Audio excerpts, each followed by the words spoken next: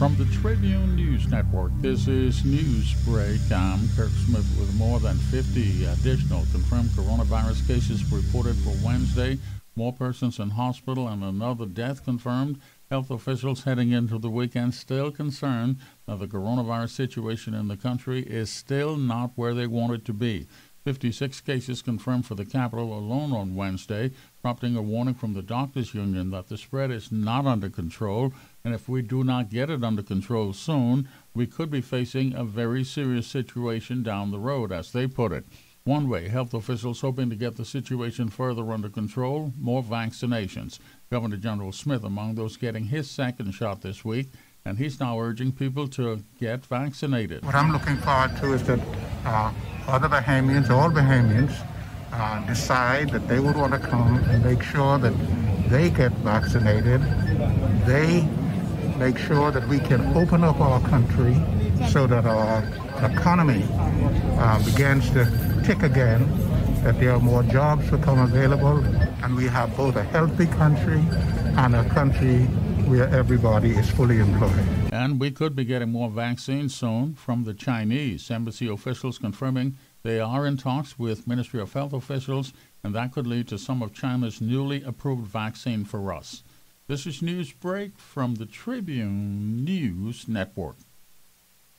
We have not reached capacity yet, but those coronavirus hospital numbers continue to increase, and that is a major area of concern for health officials Heading into the weekend, 58 persons in hospital with COVID, 26 at the Princess Margaret, 17 at Doctors, 8 at the South Beach Center, and 7 in Grand Bahama. Health officials say we have hospital bed space for 100 patients.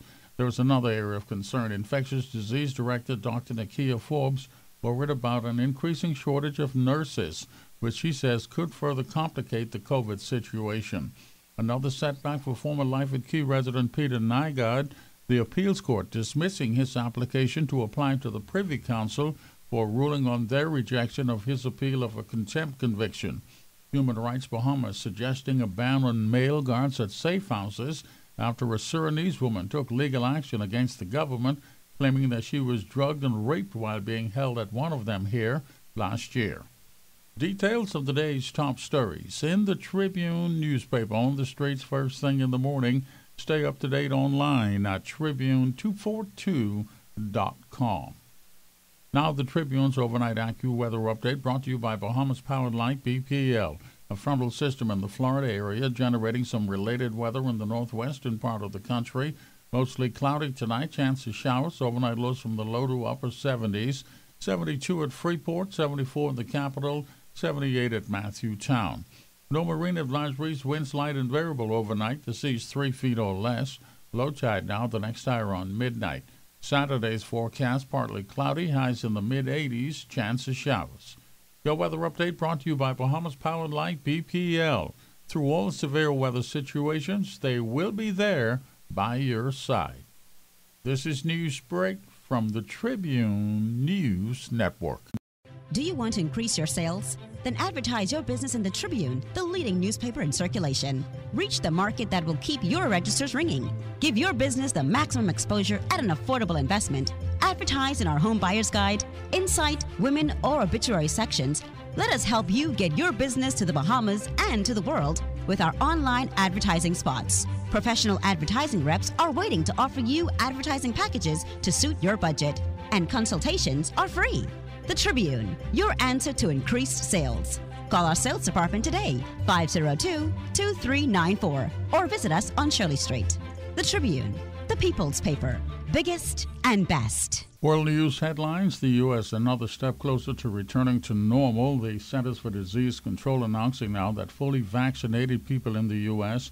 no longer need to wear a mask, either indoors or outdoors. Officials calling it a great day for America.